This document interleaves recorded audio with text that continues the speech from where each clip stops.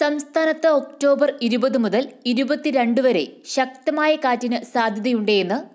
കേന്ദ്ര കാലാവസ്ഥാ വകുപ്പ് മുന്നറിയിപ്പ് നൽകി ഈ സാഹചര്യത്തിൽ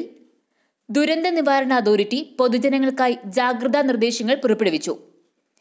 കാറ്റും മഴയും ഉണ്ടാകുമ്പോൾ ഒരു കാരണവശാലും മരച്ചുവട്ടിൽ നിൽക്കരുത് മരച്ചുവട്ടിൽ വാഹനങ്ങളും പാർക്ക് ചെയ്യരുത് വീട്ടുവളപ്പിലെ മരങ്ങളുടെ അപകടകരമായ രീതിയിലുള്ള ചിലകൾ വെട്ടിയൊതുക്കണം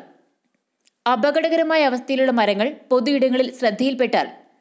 തദ്ദേശ സ്ഥാപനങ്ങളെ അറിയിക്കുക ഉറപ്പില്ലാത്ത പരസ്യ ബോർഡുകൾ ഇലക്ട്രിക് പോസ്റ്റുകൾ കൊടിമരങ്ങൾ തുടങ്ങിയവ കാറ്റും മഴയും ഇല്ലാത്ത സമയത്ത്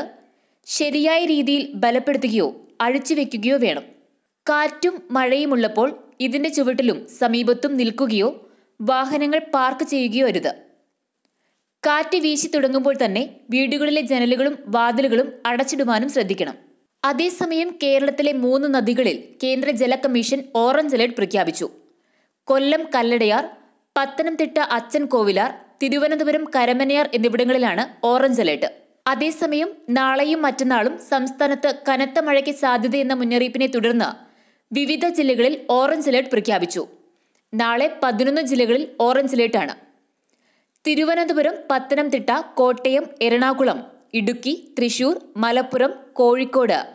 വയനാട് കണ്ണൂർ പാലക്കാട് ജില്ലകളിലാണ് ഓറഞ്ച് അലർട്ട്